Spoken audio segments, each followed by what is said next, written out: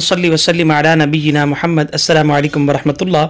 जनाब, आज के इस क्विज़ में आपके खिदमत में हाजिर हूँ और क्विज़ करने से पहले आपको एक हदीस सुना देता हूँ और वो हदीस सुनने इबन माजा की है और हदीस नंबर चार हज़ार तीन सौ उन्नीस है।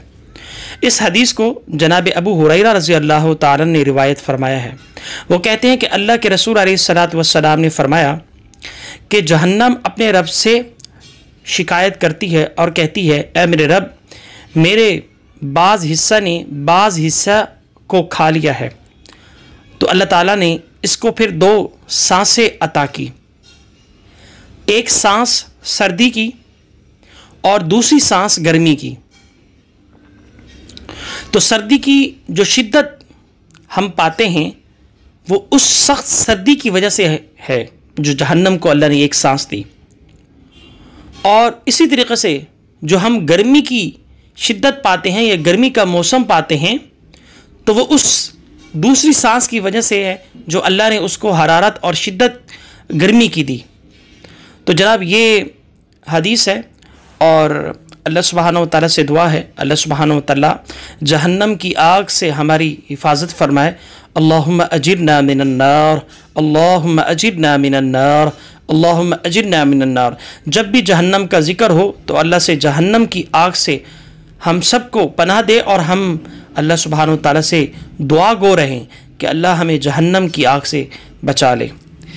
चलें जनाब, आज की इस टॉपिक की तरफ़, यानी आज के क्विज़ की तरफ़ आ जाते हैं। जनाब, आज का सवाल ये है कि कुरान करीम की मदनी सूरतों की तादाद क्या है?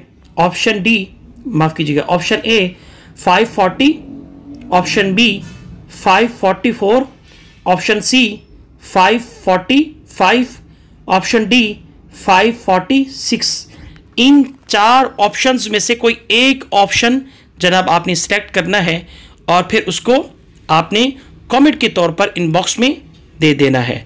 ताकि डेली बेसिस पे ये अपने बहन भाइयों के साथ ये चीज़ें शेयर की जा रही है।